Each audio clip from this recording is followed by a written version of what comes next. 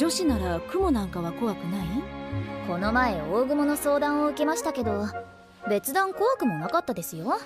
足が長いだけで頭なんか簡単に拳で割れそうでしたし。じゃあヘビは？慣れたものです。昆虫類は？これもあなた大丈夫そうね。虫が怖くて妖怪の住処になっている山や廃屋なんかに行けませんって。なら苦労から嫌われるのは？あ？すでに嫌われているわね。嫌われてませんよ。だとしても長く付き合っていれば浮き沈みもあるでしょうし怖がることじゃないですね。それだと苦労に捨てられるのも怖くなさそうね。あもう捨てられてるも同然か。同然じゃありません。第一そういうのもあらゆる手段を使えばどうにでもなります。それはもうストーカーの発想に近くない？その私の家に居候していてよくもそこまで足ざまなことを。